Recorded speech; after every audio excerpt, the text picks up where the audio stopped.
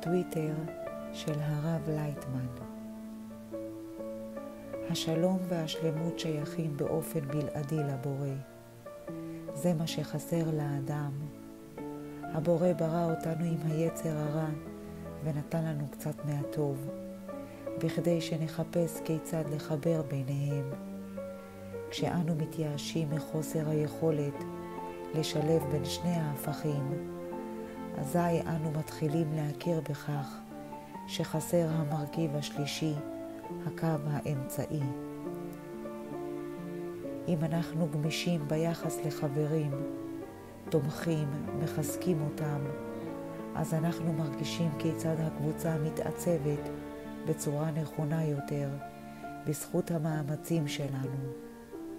כל אחד שדואג באופן כזה לקבוצה, בונה את עצמו כקו אמצעי, מכוון את עצמו בדיוק לבורא ומגלה אותו בתוך עצמו.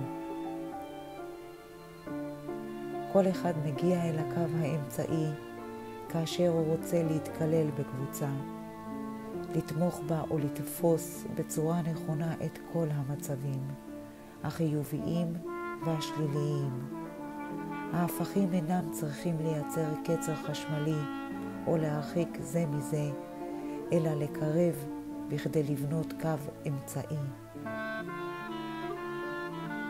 בני אדם רוצים להשמיד את כל הרע ולהשאיר בחייהם רק את הטוב.